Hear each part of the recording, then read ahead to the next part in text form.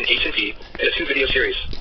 The learning objectives of these videos is to understand the purpose, content, and organization of the medical H&P, to compare the oral presentation of the H&P to its written form, and to know some additional tips on what makes an effective oral presentation. In the first video, I'll discuss the conceptual details of the H&P. In the second video, I'll give an example of an H&P oral presentation displayed side-by-side real-time annotations pointing out the concepts introduced in the first. This video will cover topics relevant to both oral presentations and their written counterparts. That's because there are obvious similarities between them. Specifically, the overall format is identical. That is, each has a chief complaint, a history of present illness, past medical history, etc.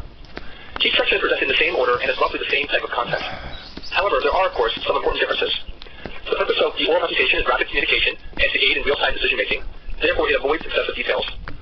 The purpose of a written note, however, is to serve as a detailed reference and a legal document, and therefore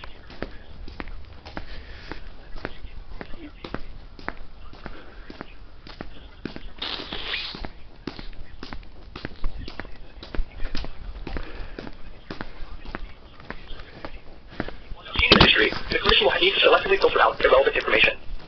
The history is further subdivided into the source of information, the chief complaint, history of present illness, past medical history, meds, allergies, and so on.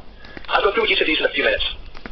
The exam typically starts with a statement about the patient's general appearance, then the vital signs, and the remainder of the exam is usually organized roughly head to toe, other than the neural exam, which for some reason is often listed last.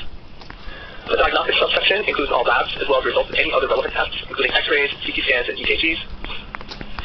Now, in addition to the reporting section, there's also an interpretation section, which is frequently referred to as the assessment and plan. This typically takes the form of a problem list. Each problem that the patient has on a patient, whether it's an acute physiologic derangement, uh, a particular symptom, an unexplained exam finding, or a chronic medical condition, should be listed here. For any new problem, there should be a sequential diagnosis with explanation. And each problem should have diagnostic, therapeutic, and educational plans if relevant. I'll discuss this in more detail later as well. Now, these two sections, the recording section and the interpretation section, comprise the entirety of many H&Ps, but there's something critically important that joins the two together. It's often known as the impression, though I find that term to be too imprecisely used. Instead, I call this brief but essential extra section the linking statement. It links the recording and interpretation sessions together, and a bit more than that, which I'll get to soon. Now let me discuss each one of these headings. The very first thing in the H&P should be a brief statement as to the source of information and the clinician's impression of the source's reliability. Here are some examples. Source is the patient, who appears reliable. Source is the patient's spouse, who appears reliable. Source of patient, who appears unreliable, secondary to apparent alcohol intoxication. Or sources of medical chart, as the patient is unconscious and no family or friends are immediately available to provide information. Next is the chief complaint. This is the patient's primary reason for seeking medical attention. It can either be in the patient's own words, which is now less common, but more traditional, or in your own short summary phrase, which is more common, but sometimes discouraged by instructors. In most cases, I prefer the latter. It should only include abnormal exam and lab findings, or a diagnosis if they were previously established before the patient arrived. For example, if a patient came to the ER because his primary care provider called to tell him that his blood count was critically low, anemia could be listed as a chief complaint in that case. Now, if the patient is unable to offer any history at all, the chief complaint is why someone else sought medical attention for him or her. I think it's helpful to provide specific structures for chief complaints. If one uses the patient's own words, that structure would be first age and gender, plus the highly relevant items in the past medical history, plus the patient's own words for why he or she is seeking medical attention. For example, Ms. Chang is a 50-year-old woman with heart failure who is presenting because, quote, I haven't been able to catch my breath all day, close quote.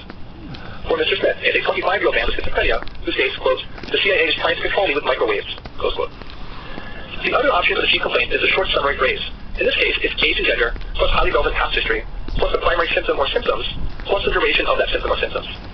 Mr. Singh is a 76-year-old man with diabetes hypertension who presents with right arm weakness and difficulty speaking for two hours. Although the chief complaint may seem very straightforward, it's the most commonly thwarted part of the whole presentation. And since it comes right at the beginning, if this happens to you, it's guaranteed to start you off on the wrong foot. So let's take a look at some common mistakes. For our first suboptimal chief complaint, Mr. Williams is a 65-year-old man with diabetes presenting with a heart attack. What's the error here? It includes a presumed diagnosis.